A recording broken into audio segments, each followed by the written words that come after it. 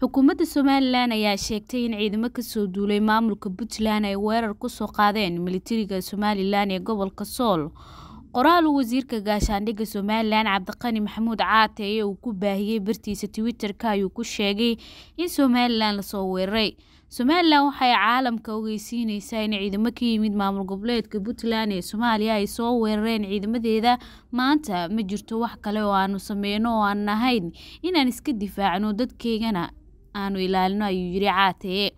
Waxa uu sheegay inay cambaareynayaan weerarka aad ayuuna u cambaareynaya tallaabadan daandaansiga ah waxaana uu taagan yahay ayuu yiri difaaca madax-bannaanideena.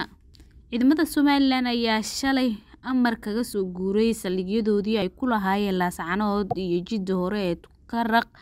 Tallaabadan oo ay xukuumaddu ku sheegtay in lagu raadinayo wadahadal iyo in shacabka la ilaaliyo. Dhinaca kale, dagaal u dhexeeya ciidamada Somalilan iyo xoogga taabacsan garaadada ku sugan Laascaanood ayuu ciidanka saaka dagaal ku dhex maray meel labaatan kiiloomitir u jirta Laascaanood oo ciidamada militariga dib u dejin loogu sameeyay.